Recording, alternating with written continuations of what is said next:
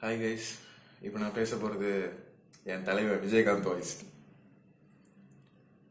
அது அது எப்படி நீங்கள் சொல்ல முடியும்? நான் அதான் பார்த்து அதில் சொல்ல முடியும். அது நீங்கள் எப்படி நான் சொல்லிடுவேன் நீங்கள் பார்த்துருக்க முடியும். அதாவது அதாவது என்ன சொல்லுதுன்னா திண்டுக்கல் இருக்குது போது திண்டுக்கல் சீனிவாசன் அவங்க அவங்க அவங்க சொல்லியிருக்கணும் அவங்க அவங்க பார்த்துருக்கணுமா இல்லையா? அவங்க பார்த்துருக்கணும்னா அதான் அதாவது அதாவது அது அப்- அவ் அப்படி இருக்கும்போது அவங்க சொல்லியிருப்பாங்க இப்போ நீங்க வந்து என்ன கேட்டா என்ன அர்த்தம்? இது அவங்க கிட்ட கேட்டிருப்பீங்களா? கேட்க மாட்டீங்க பயப்படுவீங்க.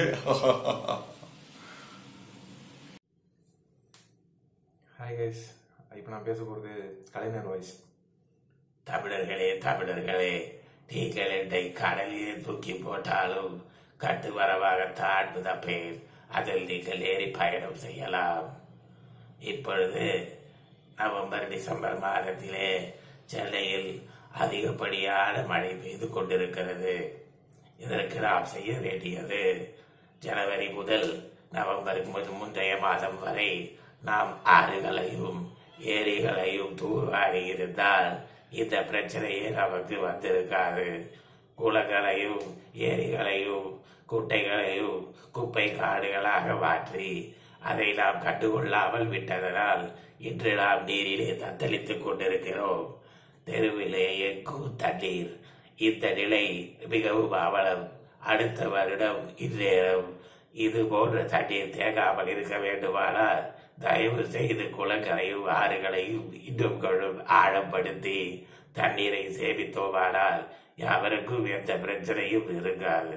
எல்லோரும் சுயநலமில்லாமல் இந்த மாதிரி குப்பைகளை தெருவில் கொட்டுவதும் ரோட்டில் கொட்டுவதையும் நிறுத்தினாலே அதிகப்படியான பிரச்சனைகள் நம்மை விட்டு விலகும். சென்னையில் அதுவும் மிகவும் நெருக்கடியான சூழ்நிலையில் வாழ்ந்து கொண்டிருக்கும் நாம் குப்பைகளை குப்பை தொட்டியில் போட்டு ஏரி குளங்களில் நீரை பாதுகாத்தாலே நமக்கு எந்த பிரச்சனையும் வராது. மாயா சாமி கல்யாண கையோட என்ன இருக்க மூணு காக்கி சட்டை போட்டிருக்க உனக்கு அவ்வளவு இருக்குன்னா எனக்கு எவ்வளவு இருக்கும்? நான் யாரு தெரியுமா திருநெல்வேலியவ கைக்குள்ள வச்சிருக்கவ என்கிட்டயே வந்து சத்தமா பேசுறியா?